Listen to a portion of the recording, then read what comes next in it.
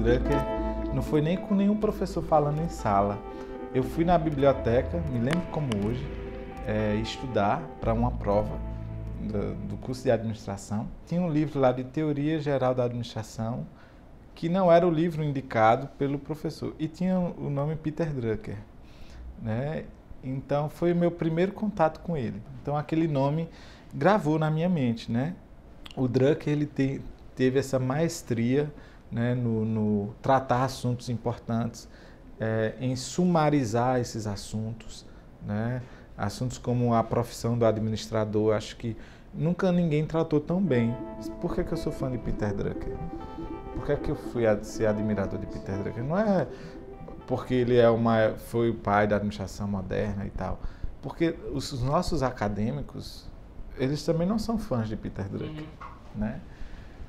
E o que é que me encantou em Peter Drucker? Foi exatamente a leitura simples, uhum. né? De, de dizer o quê? Que a administração é prática. Sim. Eu acho que quando eu vou ler Peter Drucker e, e, e os pensamentos dele hoje, e, existe todo um movimento no mundo hoje nesse sentido, exatamente por causa da simplicidade da aplicação das palavras, uhum.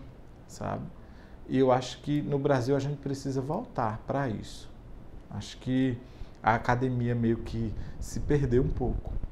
Ela quis avançar demais porque ela quer ser importante. Uhum. Então ela avançou demais num cientificismo pouco usual e pouco aplicável ou talvez até aplicável, mas não nesse momento, não o que a gente precisa. E a gente se distanciou da realidade. Então as pessoas se enchem de um ego e esquecem de agir, porque tão, estão com o seu ego tão cheio que para tomar as atitudes certas do realizar, elas se acomodam.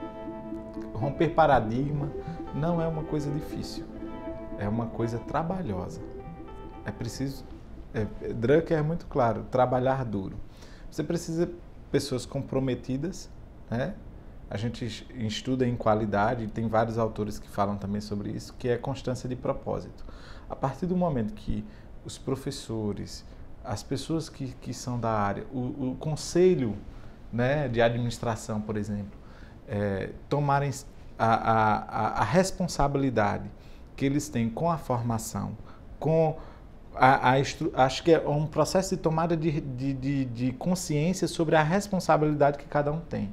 E aí você vai conseguir é, mudar os sistemas a partir do momento em que as pessoas se sentirem responsáveis pela formação, pela capacitação, pela profissionalização das pessoas. A visão do capital intelectual era exatamente de saber que o conhecimento desenvolvido por meio da inteligência das pessoas ia modificar a forma de trabalhar né? Você vai trabalhar com sua mente, não mais com suas mãos.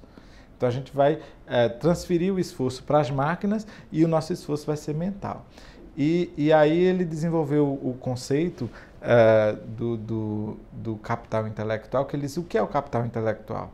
É um conjunto de pessoas trabalhando juntas. O Peter Drucker ele falava muito do, do papel das organizações sem fins lucrativos. Né? E ele se dedicou aos seus últimos anos de vida né, eh, seus últimos 10 anos de vida, em, em, média, a exclusivamente a orientar as organizações sem fins lucrativos né, a se desenvolverem, a criarem recursos e a, a contribuírem com o desenvolvimento da sociedade. Né, porque ele, ele achava ruim a preocupação exacerbada da ambição irresponsável de muitos líderes de empresas. Isso é algo que a gente tem que pensar, porque se a gente está rumando para uma sociedade desenvolvida no Brasil, a gente tem que pensar que a nossa ambição ela tem que ser responsável. Ela não só, não só tem que maximizar o lucro, porque o lucro ele é bom e necessário. Né? E as empresas precisam de lucro para sobreviverem. Né? Se eu montar uma empresa hoje, eu, vou, eu preciso que ela dê lucro para poder continuar com ela funcionando.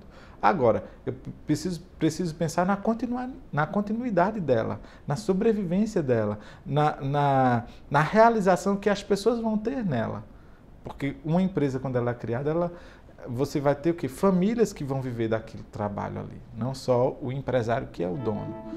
Pensar, né, imaginar Peter Drucker hoje falando sobre o futuro é, seria uma ousadia muito grande da minha parte é, tentar pensar como ele pensava, mas assim, a gente se, tenta se aproximar né, é, dentro de uma identidade que ele construiu. E a identidade que ele construiu foi é, é, de, de, do rigor. Eu acho que tinha um rigor uh, no que ele falava e tinha assim uma questão de uma disciplina, sabe? Não é talvez aquela disciplina que a gente está falando aqui de, punitiva, né? Mas uma autodisciplina, a construção da autodisciplina, né? Seja do, do operário, seja do empresário, seja do cliente.